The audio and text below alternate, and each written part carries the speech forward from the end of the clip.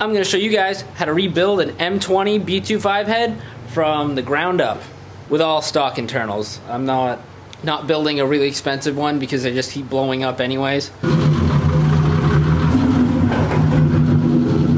This time it wasn't really my fault or the, a tune's fault or anything like that. It was actually Sinel's fault. What happened was when I went to have the head machined, I needed some studs taken out and they drilled the studs out. The only problem is they went through all my coolant jackets in the head, so it leaks all my coolant out of all the studs. And I even used the thread sealant stuff that they use on the old Ford engines. Still leaks a ton. And that actually caused the back of the head to crack and it was dumping coolant in my last cylinder. But let's get into it. Here we have a pretty much empty head. I already put in the valve stem seals, but I'm gonna show you how to do those first before I start doing anything else. So first thing you wanna do is go online and order some new valve stem seals. You might as well do them while it's out of the car and you don't have to do it later down the road if it smokes like a chimney. Alright, so let me flip this thing over to show you guys how clean Ian got it. Look at that. Good job, buddy. I know I keep him around for a reason. We got Sam hanging out. Buddy! The easiest way to take the old ones out are you just get these thin needle nose vice grip type thing and you squeeze them not too hard, just enough where they like bend a little bit. And then you wiggle them and it'll come right out. Really easy. Um, I'm not going to take the new ones out to show you guys how they come out because you pretty much ruin them. As for installing them, it's pretty simple. They make a special tool to do it, but honestly, all you need is an 11 millimeter socket and extension, and all I do is I, it fits perfectly over this, and it doesn't hurt the rubber at all. It goes right over the rubber and just barely sits right on that metal lip piece at the bottom. With even pressure, you just push them on like that, give it a little bit of a wiggle, and they slide right on. Now I'm going to show you guys how to put in the valves. First, you need to pet your dog. First things first is you grab one of these, which is a valve spring compressor. You can find this tool in the description below. I will link it to you. Or you can steal it out of your dad's toolbox. Alright, this is kind of hard to do holding a camera and filming. Luckily, my girlfriend just showed up, so Lexi can help me film. Lexi! Hi. Can you help me film this? Sure. Thank you. Recording. Cool. We're gonna grab our springs in the right order. It probably doesn't matter. I like to keep them in the same order as the valves. So I'm gonna put this guy over here on top of your valve stem. Then you take your giant C-clamp that you stole from your dad when he wasn't looking, and you put it on your spring, and you wanna line up the foot with the actual valve at the bottom, and try not to score up your flat surface on the head. Then you give it a good squeeze, like that. And it should lock in. Be careful you don't slide all the way off like mine almost did. There we go. Then clamp it. Now you take your valve stem spring locker thing. I guess that's what we'll call it today. And it goes right in the grooves above the valve. I like to leave a thin coating of oil on it so that way it gives it like a suction effect and they won't fall off. Just like that, they're on there. Now slowly release the pressure. And you have just installed a valve. Pretty easy. Alright guys, so I got my cool headset thing on so you guys can see how I do it. Um, all the intake valves are actually already in. I just put those in, so now we're going to go through and do all the exhaust valves. So it's the exact same thing. We're going to use the uh, clamp. Now these aren't new valves. Obviously when you put new valves in it, they're going to be a lot cleaner. But the reason I'm not doing new valves is because I don't want to wait. There's nothing wrong with these valves other than being dirty. And then if I change out with new valves, I'm going to have to change the valve stem guides as well, which are what actually hold on your valve stem seal. Because if it's worn in there and it's not worn at all on the new ones, it's going to end up wearing way worse than just putting the old one back in. So slide this guy in here, like that. And the valve stem seal will actually hold it in there so it's not going to fall out. Don't forget to lube them up a little bit. Oh, gross. That was nasty. So lube up your valve stem, slide this guy right in. You want a nice thin coating on there, that way it doesn't hit metal on metal without kind of a smooth surface to glide on. Next, it's all just very, very repetitive. Now you don't need much of this stuff. You don't want to overdo it. It won't hurt, it's just kind of a waste.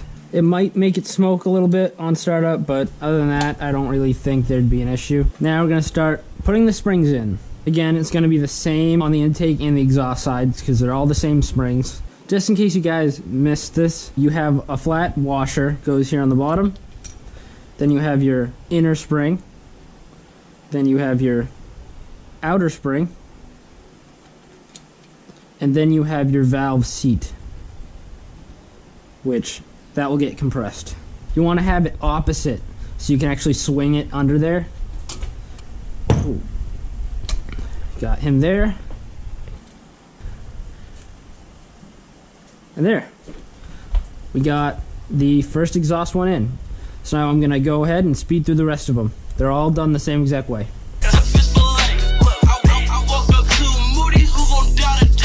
Alright, so the next step is you want to prep the head for the cam. So what we're going to do is take our assembly lube.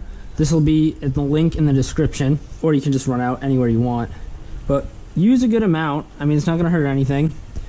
And you're going to go and you're going to lube up all these machined bearing parts. I don't know what they're called. They're not a bearing because bearings don't go in them. They just kind of float which is strange that the cam doesn't have a bearing. So just use a good amount.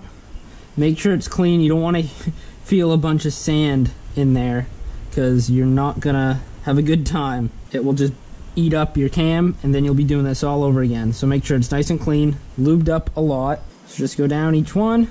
Another thing you want to look for if you are rebuilding your head that you already had, you want to make sure that there's not really deep cuts in any of these machine parts because if you get a really bad groove in there it's going to tear apart your cam.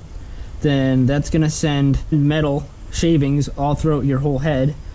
Eventually it's going to go into your oil and then that's going to send it to the rest of your motor and you don't want that. Now we're going to go over to our cam and we're going to do the same thing. Now just very carefully try not to touch that much Just take your time. You're not in a rush. Race season might not even be happening this year. And your cam is officially in. And it should be able to spin pretty freely. See? We're going to start putting in the rockers and the rocker shafts. This is what your rockers ride on. And this is where you're going to get your oil flowing through. The oil is going to seep out of each one of these right underneath the rockers. So that way they don't, you know, burn up and bad things happen. The key is right here, if you can see it. You want to make sure it lines up with this spot, which is where your key is going to sit, right in here. So it's going to go basically like this. Now you want to make sure that the big holes are going to line up with the big holes in the actual head, or you're not going to get oil flow. And that is what will kill your engine. Gonna do the same thing that we did with the cam. We're gonna lube up these little holes where it goes, and then we'll lube up the actual rocker shaft itself, and you'll be ready to rock and roll. Alright, so now we're gonna start taking our rockers, and we're gonna lube up the inside and the foot, which is this guy right here. So lube up in here, lube up the rocker foot. If you want, you can do the roller too. Just helps. Your foot is gonna go on the cam side, and the roller is gonna go on the valve side. So what this does is when the lobe hits the foot, it presses down and opens the valve. And we're going to adjust this too, but we don't do that until after. So just slide this guy a little bit out, have him like this, go through, one rocker's on. Grab another one, and like that. We got we got two. Also, inspect all your rockers for excessive wear or damage, because you do want to replace those if they're really badly worn. Which, see how it's kind of got flat spot, but it's not terrible? See, uh, you can see the different kind of angles to it. This one is not terrible. It's not going to really affect you, but I'll show you what a bad one actually looks like. So this is what a bad one looks like. Yeah, this is from a snapped timing belt. So you definitely want to replace that too while you're in here. It's just easier to do. Everything's already apart. And you don't want this to happen to your new head. Now this is another bad one. This is a heavy duty Ireland engineering one. And as you can see, the foot is so flat at the end. It should not curve like that. That's really, really bad. And that actually what is what blew up my first head. Okay, now line that key up there. See where it lines up with that little notch and the little notch here. Then do the same thing on the other side, the exact way that we did this. Have them all loose so you can move them all so you don't want them binding up on the cam. I don't know why he's barking. Alright, so all the rockers are in, all the rocker shafts are in, my dog's barking, but um, now I'm going to show you guys how to line up the rockers on the cam and we'll be pretty much done.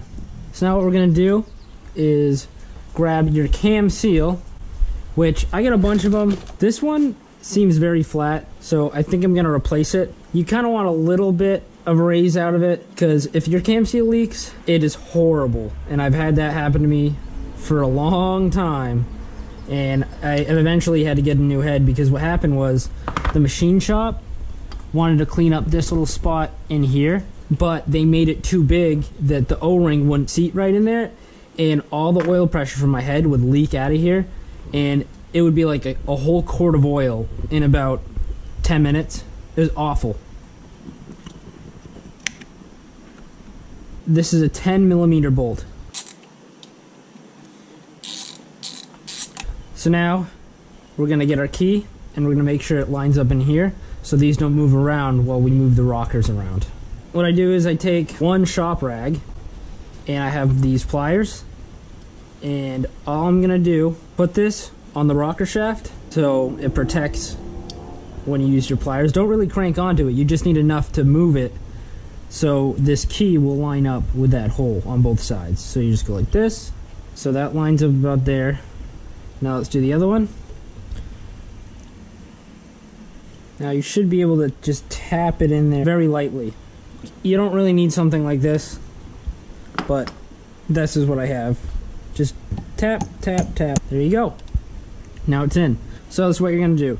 Of all the ones that you can over the valves and over the cam at the same time. And then you're to take these, which are your retainer clips. They keep your rockers where they're supposed to be. So they're not sliding around all over the engine bay doing their own thing. And what you're going to find is these lines in here, a little groove. This is going to sit right in here like this and then you're going to press on top of it like this. And it's pretty pretty simple, pretty straightforward. One rocker is completely ready to roll on the camshaft. And now you can do the other one. Unfortunately, they're not all this easy, and you're going to figure that out as we get further in this. So now we reached our first one that's a pain in the ass. You can't get this rocker on the valve and you can't get it on the actual cam itself. So what we're gonna have to do is turn the cam until this lobe in here is down enough to get the rocker on top of the cam and the valve. So we're gonna go put on our cam gear. Boom. So not everybody's cam nut is the same. This one is a E12 bit and I've had ones that are the opposite it's an E12 bit, but it's inverted. And then I've had other ones that are different from that, and I don't remember. But you're gonna put this guy here. Again, you can't mess it up. You'll feel it lock in. Now you just thread your E12 socket on there. Just tighten it up a little bit so it's not gonna loosen up.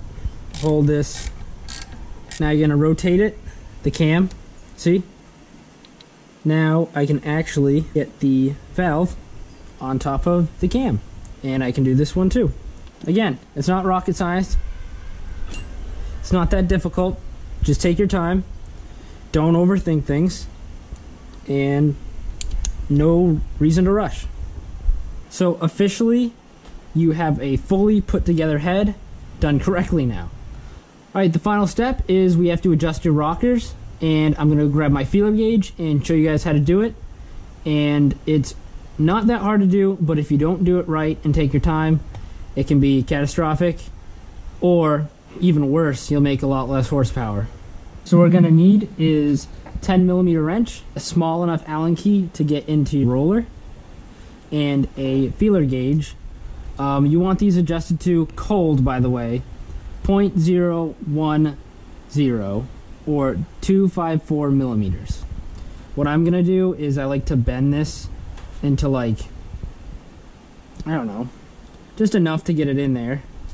So that way it's easy. So pick how you want to bend it. I'm gonna probably a little bit more. So get some oil. We're gonna put a little bit on the feeler gauge and what we're gonna be looking for is almost like a peanut butter type drag. Should feel like peanut butter. I don't know how if that really makes sense, but that's what you're gonna be looking for.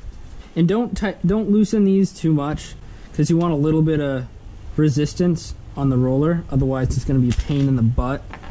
It's gonna be too loose and just float around.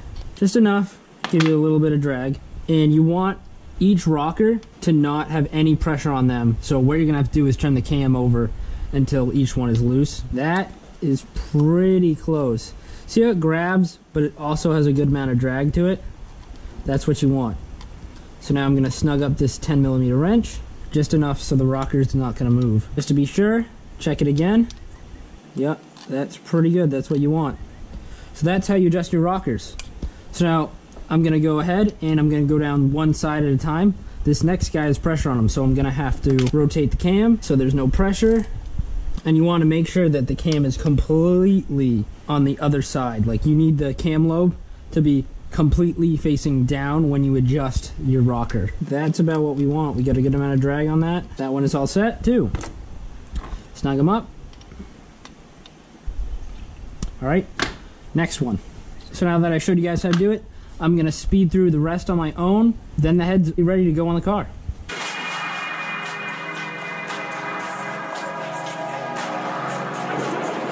Alright guys, so that's how to rebuild an M20885 head from start to finish. I hope you guys liked it. I hope it helped you guys out a lot. Um, please post in the comments any questions. Uh, everything is in the description that you need for this job. You can just click and order it. it. Makes it really easy for you guys. Please like, subscribe, and thanks for watching guys. See you at the track.